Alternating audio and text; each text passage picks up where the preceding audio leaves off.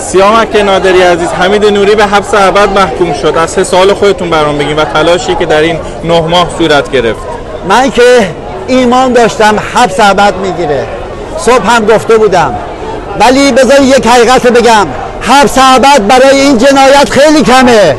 حمید زوری ظرف پنجاه روز 700 نفر فقط تو گوهردش کشته.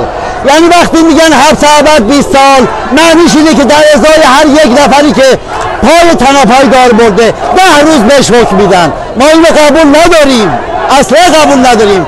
اما حکم جهانی این هست دادگاه بالاترین حکم هم است اینجا این خمینیه که داره حکم می‌گیره.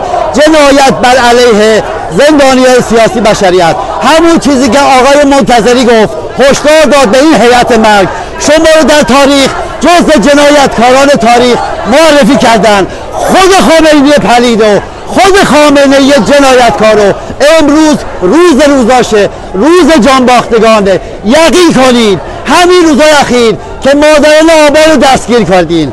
هر هر رقم که سرکوب کنید گریزی از سرنگونی نیست.